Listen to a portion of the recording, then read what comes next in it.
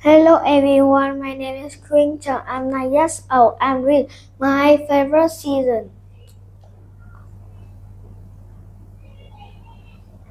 My favorite weather is sunny summer. Summer is usually hot. Sometimes it's scorching.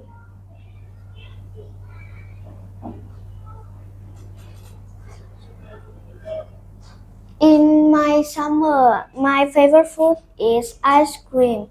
Ice cream is very cool and yummy.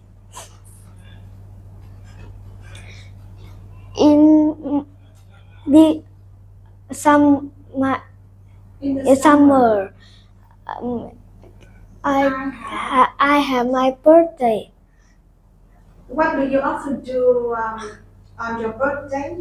I um visit uh visit visit my friend.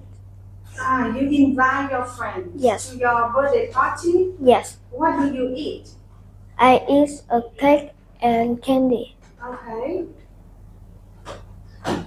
Goodbye. See you again. Okay, I have some questions for you about other summers and other seasons. What do you often eat in the winter? Um, I sleep in in the bed. Yeah, you sleep in the bed, but I, I, I am asking you about the food.